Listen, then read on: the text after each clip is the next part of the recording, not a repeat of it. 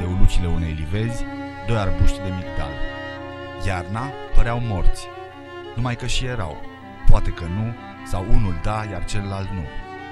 Nimeni nu putea să o spună, deoarece pentru arborii ce nu sunt veșnic verzi, trebuie să aștepți luna martie ca să poți vedea care e mort și care nu. În martie s-a văzut că numai unul dintre cei doi migdali era viu, cel de lângă parul înalt al lucilor.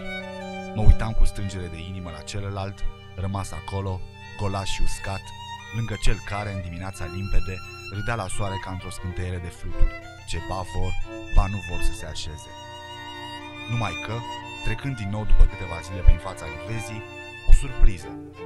Sau îndoiala de a fi greșit întâia oară. Dintre cei doi migdali nu era înflorit cel de lângă parul mai înalt, ci celălalt. Să fie cu putință oare?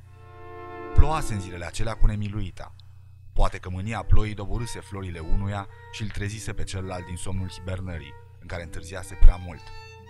Într-adevăr, câte o frunzuliță albă, veștejită, supraviețuitoare, mai adăsta încă pe ramurile celui care înflorise înainte.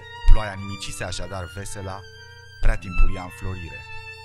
Dar surpriza s-a reînnoit și mai vie, însoțită de o izbucnire în râs, când de aproape s-a putut constata cum și în ce fel înflorise celălalt arbust, dincolo de ulucile livezi îngrădite. Domnilor, erau talpi, melci, codobelci. Nu erau flori, erau melci. Toate crengile răsucite ale migdalului aceluia mort erau încrustate în arabescuri cu talpi melcișori, proaspăt înspămați de pământul gras după șiroirile furtunii. Părea că, plin de înțelepciune, în nume de aceață înțepătoare ce plutea în aerul încă înnorat, copăcelul acela înflorit așa în glumă, îi spunea celuilalt, care își pierduse atât de curând florile. Iată-mă! Vezi? Acum eu da și tu ba. Înfloresc și eu cum pot.